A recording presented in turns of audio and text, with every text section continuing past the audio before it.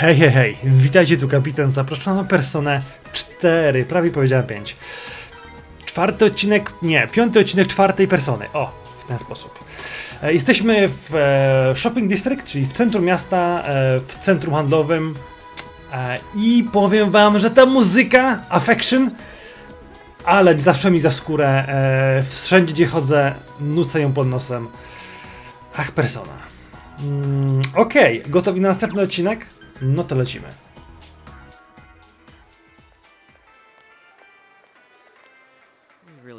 Z kilometra nas widać. I co gorsza, nosimy mundurki w niedzielę. To zwraca uwagę. Wyprzedaże niedługo się skończą, więc większość ludzi pójdzie sobie do domu. Dobra, zbierajmy się. Czyje, słuchaj, nie jest za późno, żeby... Idę! Dobra, tylko weź to na spokojnie, okej?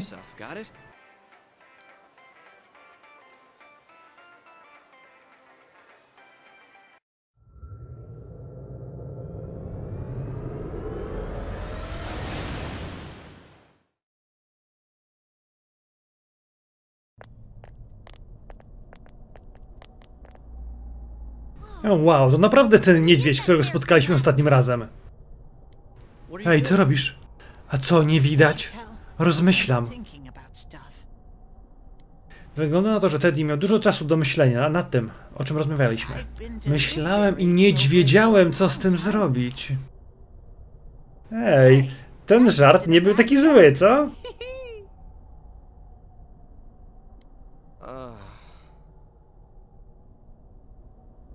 A więc, wymyśliłeś coś? Nie spędzaj za dużo czasu myśląc o tym.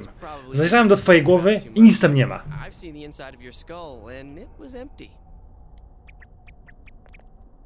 Ale hamstwo! Niezależnie jak długo bym myślał, to i tak mam pusty łeb. Weźcie przestańcie, nie czas teraz na głupie żarty. Słuchajcie, wczoraj ktoś tutaj przyszedł, tak? Wow, ta dziewczyna ma lepszy nos ode mnie. Jak masz na imię, panienko? Panienko? E, no jestem Chie, ale nieważne. Opowiedz mi o tym, kto tutaj przybył. To się stało niedługo po naszej rozmowie. Wyczułem nagle, że ktoś się zjawił w tym świecie. Czy to panna Yukiko?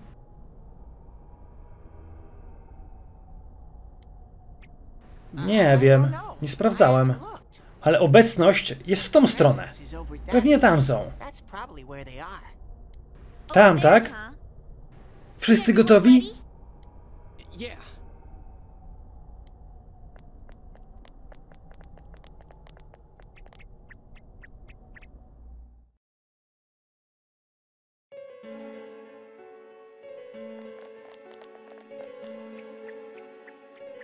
Co jest?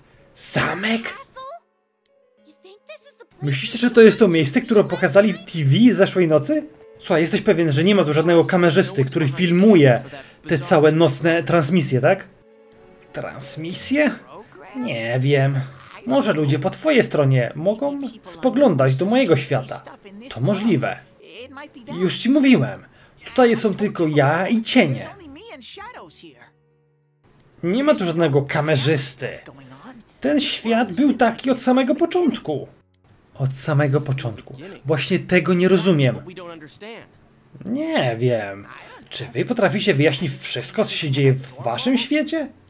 Nie widziałem nigdy tego całego programu, o którym mówiłeś, więc nie wiem. Więc to się dzieje, kiedy oglądamy nocny kanał? Spoglądamy w ten świat?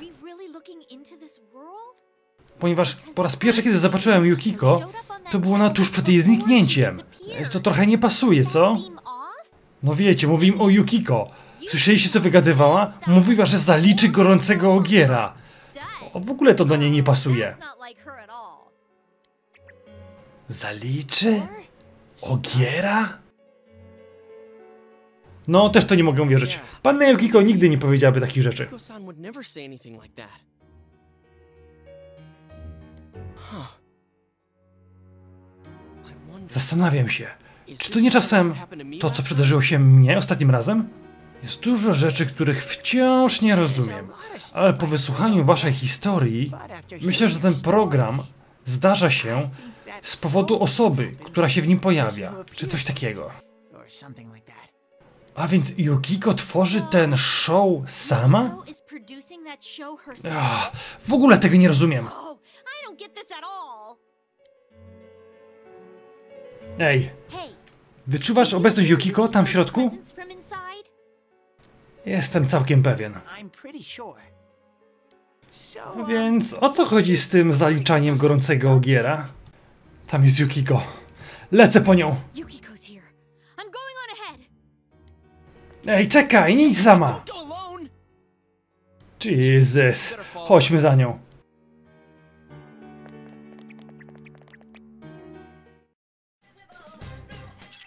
Nie mogę uciec zbyt daleko.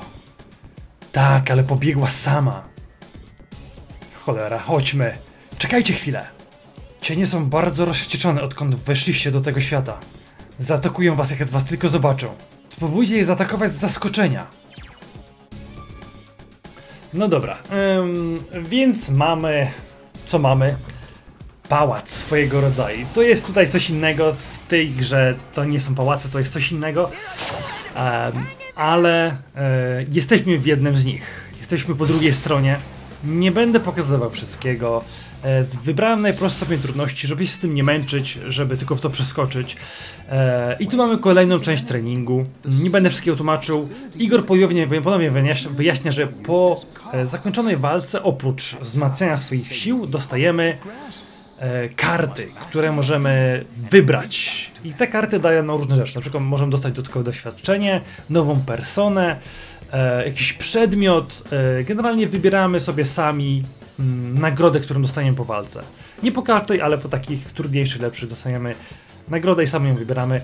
E, czasami dostajemy 5-6 kart, czasami tylko jedną lub dwie do wyboru mamy, e, ale zawsze możemy sobie wybrać to, co chcemy.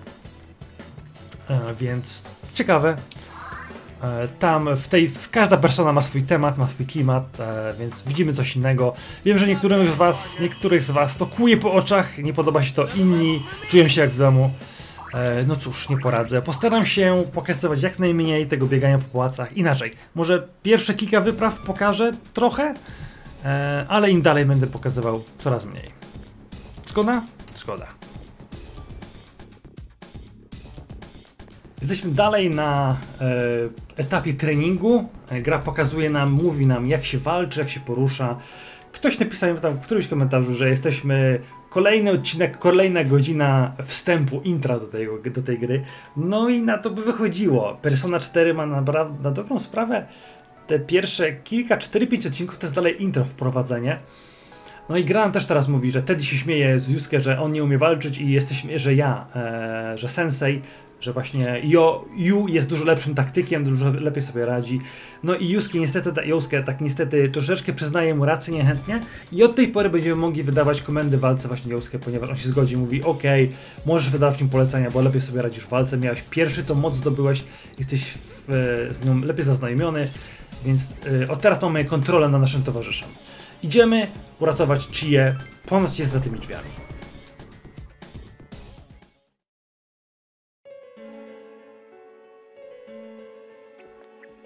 Ej, Chie, żyjesz? Chie? Powiedziała, że do twarzy mi w czerwonym. Yukiko-san?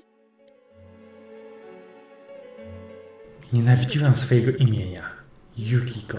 Śnieg. Śnieg jest zimny i szybko się topi. Przemija, jest bezwartościowy. Ale idealnie pasuje do mnie. Poza tym, że odziedziczę tę gospodę, jestem bezwartościowa. Ale czy jej mówiła, że do twarzy mi w czerwonym? Czy to wewnętrzne przemyślenia Yukiko? Pamiętam, że Saki też coś takiego mówiła. No, ten zamek zjawił się tu pewnie z powodu tej całej Yukiko. Chi jest jedyną osobą, która nadała mojemu życiu sens. Jest bystra, silna i może zrobić wszystko. Jest wszystkim tym, czym ja nie jestem. Porównując siebie do Chie, ja... ja... Czyje mnie chroni? Opiekuje się moim bezwartościowym życiem. A ja... ja na to nie zasługuję. Czy jest taka dobra?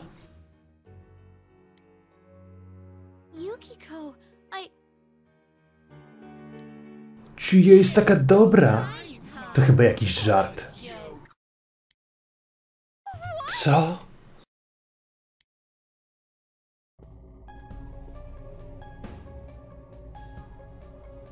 O stary, spójrz. Czy to nie czasem tak samo jak z Josuke?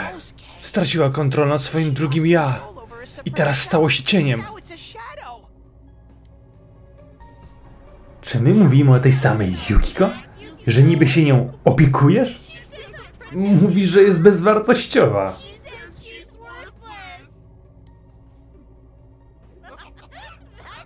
Przecież tak powinno być, nie? O czym ty do mnie mówisz?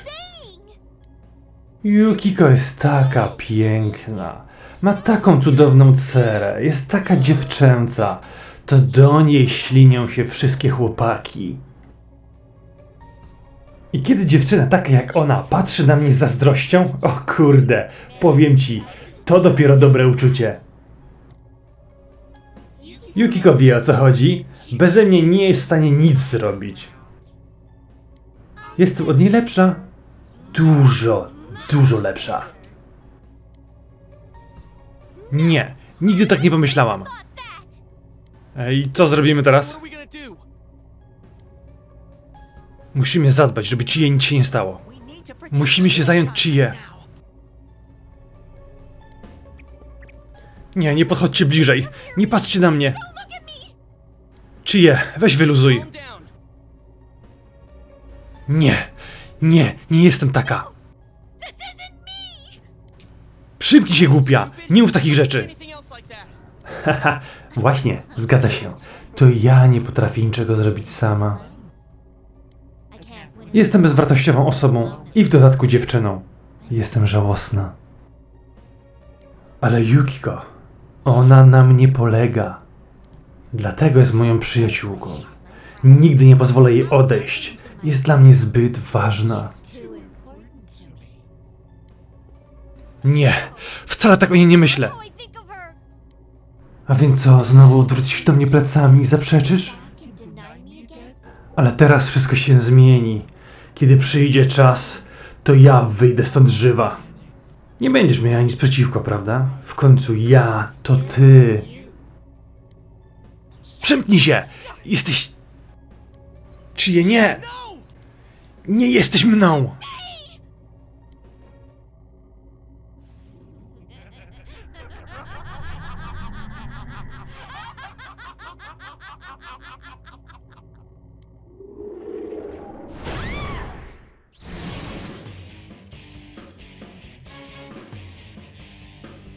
Chie! Zbliża się. Użyj swoich mocy, żeby ocalić Chię.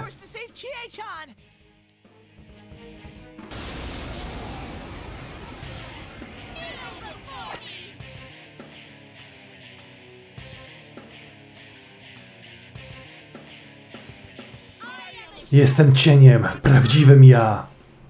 Co wy chcecie zrobić? Podcinacie mi skrzydła? Nie chcecie, żebym została prawdziwym ja? Jeśli tak, zapłacicie mi za to. Przymknij się! Przestań walić takie kwasy! Wytrzymaj, czyje! Zaraz wszystko się skończy. Zapomnij, nie pójdzie ci ze mną tak łatwo.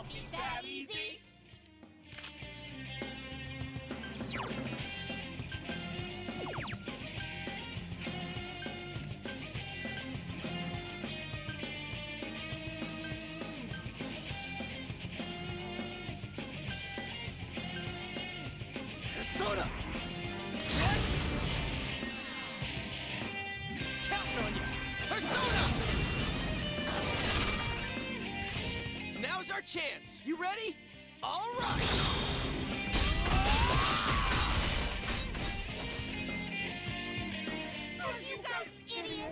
Was chłopaki? Po co ich tak bronicie? To tylko wredna suka.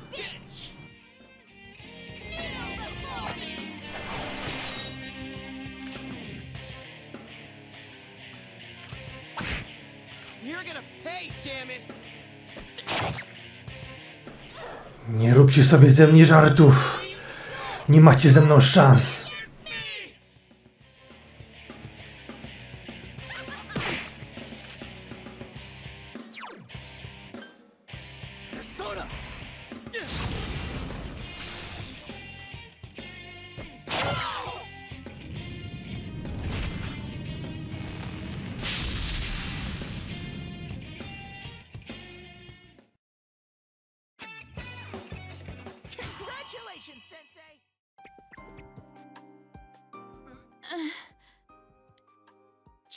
Hej, Chia, jesteś cała? Co się stało?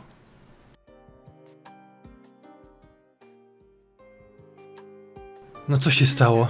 Zatkało kakao? Przestań, Chia. Już po wszystkim.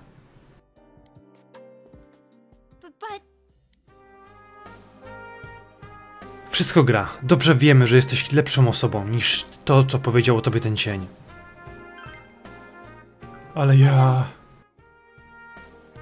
On ma rację. Ja przyszedłem przez to samo. Znam to z pierwszej ręki. W każdym z nas siedzi coś takiego.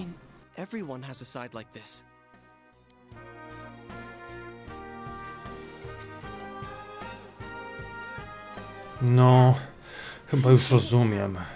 Ty jesteś mną. Jesteś moim drugim ja, które próbowałam zapomnieć, zignorować. Ale wciąż istniejesz i jesteś częścią mnie. Czyje pokazała, że ma siłę stanąć twarzą w twarz swoim drugim ja.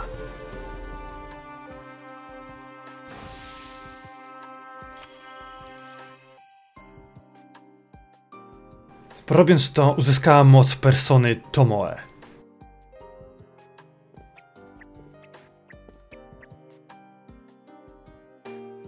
Ja, e, cóż, część mnie, cóż, chyba tak myślałam, rzeczywiście. Ale nie kłamałam. Yukiko naprawdę jest moją przyjaciółką. No coś ty. Tak jakbyśmy o tym nie wiedzieli.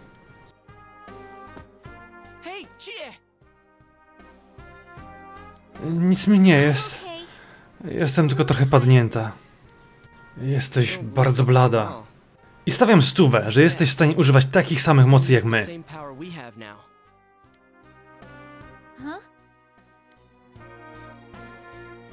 Hej, to co robimy?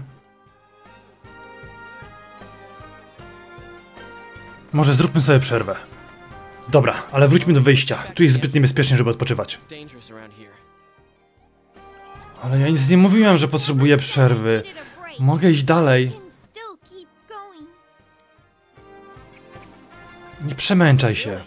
Słuchaj, nikt nie powiedział, że nie dasz rady. Po prostu musimy ocalić Yukiko za wszelką cenę.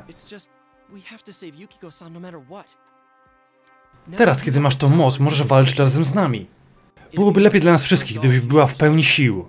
Dlatego mówimy, żeby lepiej wrócić i się przegrupować. Ale Yukiko wciąż tu jest, prawda? Jeżeli Yukiko naprawdę tak myśli, to muszę z nią porozmawiać. Muszę jej powiedzieć, że nie jestem aż tak silna, jak ona myśli. Jestem silna tylko dlatego, że ona jest ze mną.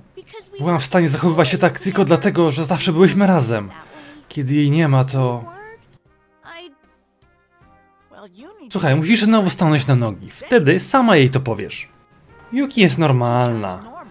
Cienie nie atakują normalnych ludzi. Atakują tylko, gdy znika mgła.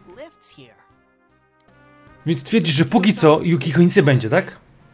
Jestem pewien. Czemu? Nic nie rozumiem. Teddy powiedział, że pogoda w tym świecie jest przeciwieństwem tego, co dzieje się w naszym świecie. Kiedy jest mgliście w naszym świecie, wtedy tutaj znika mgła i cienie atakują. Więc nawet jeżeli wyjdziemy stąd na kilka dni, Yukiko nic nie będzie. Aż do czasu, kiedy w Inabie pojawi się mgła. Jestem tego pewien. Tak samo było z tą dziennikarką i z Saki. Zapomniałeś ich ciała znaleziono po mglistej nocy. Czyli co, zabiło ich Ich drugie ja? Mgła zazwyczaj pojawia się pod deszczu. Ale ostatnio było bardzo słonecznie, więc nie sądzę, żeby zbierało się na deszcz. Nie martw się. Zaraz jak wrócimy, sprawdzimy pogodę.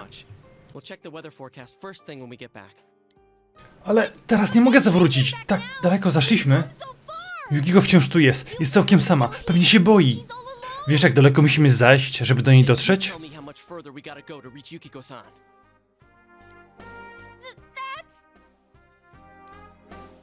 Nie wiesz, co nas czeka. Może przeciwnicy są dużo silniejsi. Jeżeli będziemy za bardzo ryzykować i któremuś z nas coś się stanie, kto wtedy uratuje Yukiko? Nie możemy zawieść. Nieważne co. Mam rację? No dobra.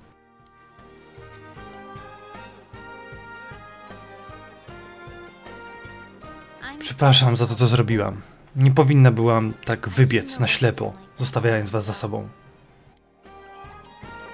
Spoko, ale następnym razem chodźmy razem. Luzik. I na pewno uratujemy pannę Yukiko. Jasne? Jasne.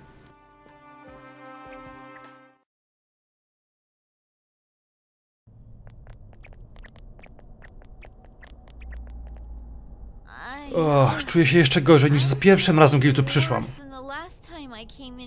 Głowa mnie tak boli, jakby zaraz miała mi eksplodować.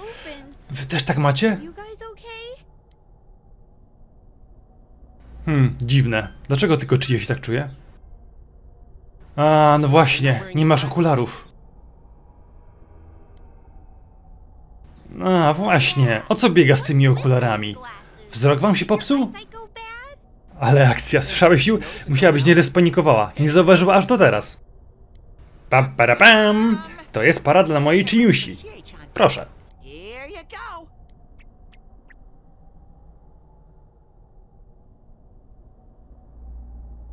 Wow, co? Ale zarąbiście, w ogóle jakby nie było tej mgły. Dlaczego nie dałeś jej okularów wcześniej, skoro je miałeś?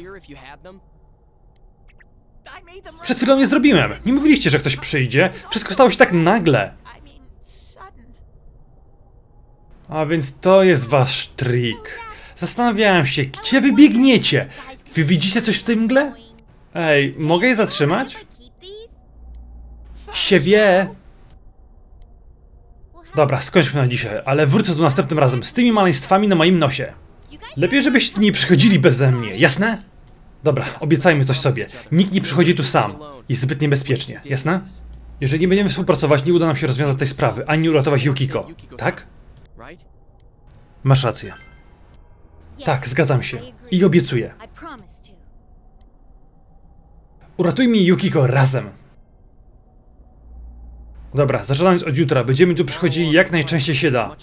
Po szkole i w dni wolne. Słuchaj, mam do ciebie pytanie. Nie masz nic przeciwko, żeby zostać naszym przywódcą?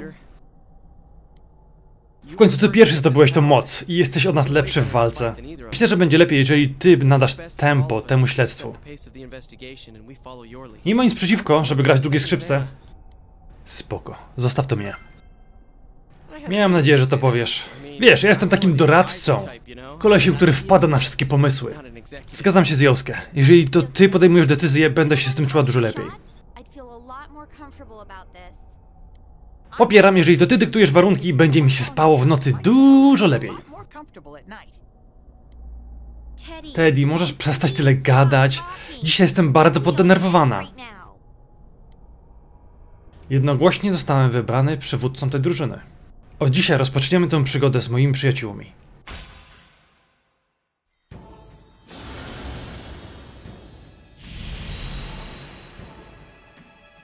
Jestem tobą, a ty mną. Udało ci się nawiązać nową więź i zbliżyć o krok bliżej do prawdy. Udało ci się pozyskać błogosławieństwo, arkana spod znaku głupca.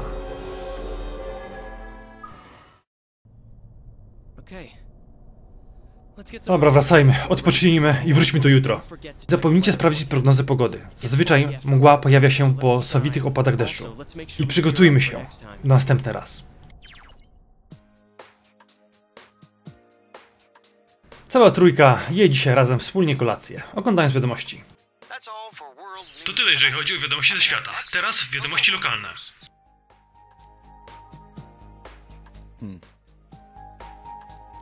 Dojima jest dzisiaj cichy i ma bardzo poważny wyraz twarzy.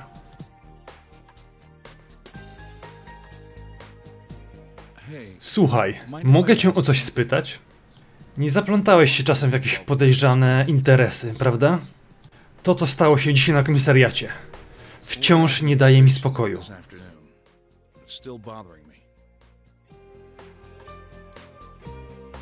Czy jest coś, co chciałbyś mi powiedzieć?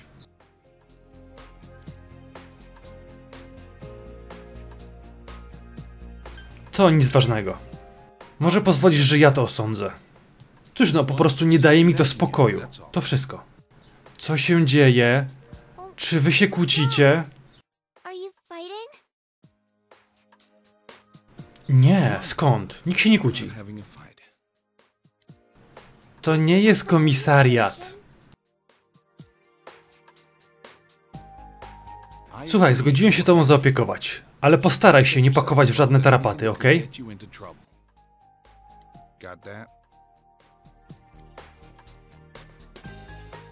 A teraz prognoza pogody. Z zachodu nadciąga do nas silny front atmosferyczny. Dzięki temu nasza piękna pogoda utrzyma się jeszcze przez jakiś czas. Czy to ta pani decyduje, jaka będzie pogoda? Bo jak mówisz, że będzie słonecznie, to zawsze jest słonecznie. Always is. Mm, cóż, ona nie decyduje. Cóż, nieważne.